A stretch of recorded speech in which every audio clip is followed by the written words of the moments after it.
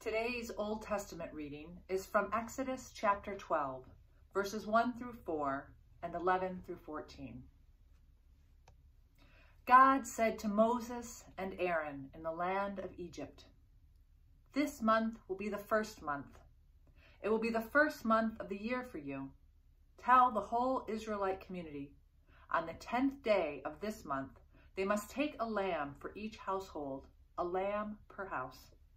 If a household is too small for a lamb, it should share one with a neighbor nearby. You should divide the lamb in proportion to the number of people who will be eating it. This is how you should eat it.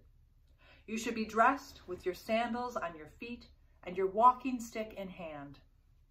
You should eat the meal in a hurry. It is the Passover of God. I'll pass through the land of Egypt that night and I'll strike down every oldest child in the land of Egypt, both humans and animals. I'll impose judgments on all the gods of Egypt. I am the Lord God.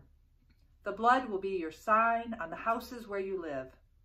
Whenever I see the blood, I'll pass over you.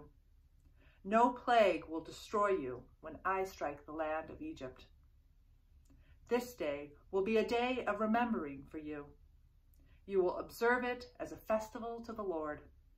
You will observe it in every generation as a regulation for all time.